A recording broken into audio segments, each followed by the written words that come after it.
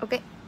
Hai mọi người, đây là chị Phương nhé Thì cách đây một tuần thì ờ, chị Phương có qua Thủy để căn chỉnh lại thái dương này Hốc má, má, má này và cằm. Và sau đấy là chị có dùng thêm sản phẩm là tiêm meso chị mụn bên mình. Đó và hôm nay là được tròn một tuần. Và hôm nay là tròn một tuần là chị Phương qua thăm khám nhé Thì là tình trạng da của chị được cải thiện rất nhiều so với tình trạng da ban đầu. Còn về phần thái dương này hay là viền má này cằm này thì nó đã ổn định hơn và hài hòa hơn khuôn mặt của chị. Thì à, sau khi về tiêm meso về thì chị thấy thế nào chị? Ừm, thì ờ, da sáng hơn này. Ừ. Ờ, có mịn hơn. Dạ. Ừm, căng bóng hơn nữa. À đấy.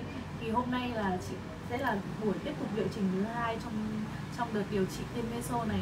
Thì à, chị có chị có cảm thấy lo lắng hay gì không có hơi đau một chút. Một chút thôi đúng không? Nhưng mà cái giá mà để cho da mình kiểu được mướt hơn được cho bụi kiểu mặt mịn màng hơn thì cái giá đấy cũng đáng đúng không chị? Cố gắng chịu đây thì ờ, đây là dòng sản phẩm. Mình lựa chọn dòng sản phẩm fusion trị mụn nhá. Thì đây là liệu trình ờ, tiêm meso trị mụn bên mình. Thì những bạn nào mà đang có nhu cầu là trị mụn này hay là muốn căng bóng da hay là nhu cầu về tiêm meso thì hãy liên hệ cho thủy nhá vì những cái dòng sản phẩm này thì bên thủy luôn lấy là hàng của công ty đảm bảo tem mác đàng hoàng. Các bạn qua thì có thể check tem mác các thứ và được uh, quét mã để ra để kiểm tra về sản phẩm nhé. À, và cảm ơn mọi người chào mọi người nhé.